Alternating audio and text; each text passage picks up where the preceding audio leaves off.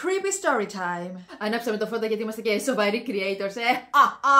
2016 έχει πεθάνει η μητέρα μου. Φεύγω από τη σχολή μου να πάω σπίτι. Εκείνη τη στιγμή λοιπόν στο λεωφορείο με πιάνει κάτι. Άρχισε να μου λείπει η μητέρα μου. Θέλω να τη δω τώρα. Το πρώτο πράγμα που σκέφτηκα λοιπόν ήταν να πάω στον Ευαγγελισμό, στην ογκολογική πτέρυγα, στον 8ο όροφο. Εννοείται ότι δεν ήμουν ηλίθια. Ήξερα ότι δεν θα είναι εκεί η μητέρα μου. Περιμένω έξω από το σανσέρ όπου γινόταν ο κακός χαμός. Φτάνει το σανσέρ, τσακ με παίρνει τηλέφωνο μια φίλη μου. Δεν μπαίνω μέσα στο σανσέρ γιατί εκεί πέρα δεν έχει σήμα. Περιμένω το επόμενο. Πάω να μπω, με παίρνει καπάκι ο πατέρας μου. Το χάνω εννοείται, περιμένω το άλλο, με ξαναπαίρνει καπάκι φίλη μου. Το χάνω κι αυτό.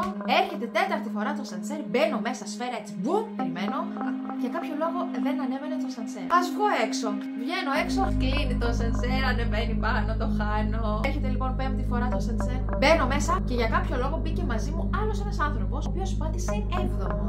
Λέω εντάξει, θα ανεβούμε σφαίρα. Κατευθείαν. Έλα όμως που το ασανσέρ ανέβαινε αργά και βασανιστικά σε κάθε όροφο. Φτάνει λοιπόν στον 7ο όροφο. Αν είναι να μην πρέπει να ανέβω στον 8ο όροφο, να μου έρθει ένα σημάδι τώρα. Εν τω μεταξύ, εγώ ήξερα ότι θα ανέβω στον 8ο όροφο γιατί έβλεπα το κόκκινο που έγραφε 8ο έτοιμο να ανέβει πάνω. Κλείνουν οι πόρτες, νιώθω το σανσέρ να πηγαίνει προς τα κάτω. Εντάξει, πήρα το μήνυμα, δεν πρέπει να πάω στον 8ο όροφο. Παρ' όλα αυτά, θα ήθελα να πάω στον 8ο όροφο. Να ανεβαίνω στον 7ο όροφο με τα πόδια. Βλέπω έρχεται μια κυρία με, με έναν κουβά και έρχεται κατά πάνω έτσι. Εσεί ζητήσατε αυτό το κουβά, Όχι! Πάω λοιπόν να ανέβω από τον 7ο στον 8ο. Βλέπω παιδιά να κατεβαίνει ένα παππούλη. Κρατούσε εδώ ένα χέρι εδώ, το άλλο εκεί και πήγαινε έτσι.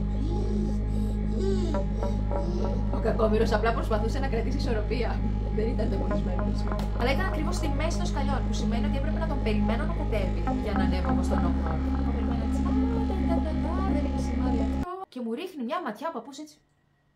Ανεβαίνω λοιπόν στον 8ο όροφο, παιδιά, με το που ανεβαίνω υπήρχε η απόλυτη ησυχία. Σαν να πάγωσε ο χρόνος. Προχωράω λοιπόν το διάδρομο εκείνο το μακρύ και πάω στο δωμάτιο που κάποτε βρισκόταν η μητέρα μου. Καθόταν μια άλλη γυναίκα στο κρεβάτι του πόνου. Μια άλλη οικογένεια περνούσε αυτά που περάσαμε εμείς. Με πιάσαν τα κλάματα η μητέρα μου δεν είναι εδώ πέρα. Δεν είναι δυνατόν να έχει πεθάνει και να έρθει στο νοσοκομείο. Τόση ώρα κάποιος μου έλεγε: Ένα κοπέλα μου, πού πας! Ήθελα να το κάνω. Και αυτό είναι ένα παράδειγμα. Γενικά έχουμε πολλά σημάδια στη ζωή μας. Παρ' όλα αυτά, εμείς κάνουμε αυτά που θέλουμε να κάνουμε. Άντε, καλή νύχτα τώρα.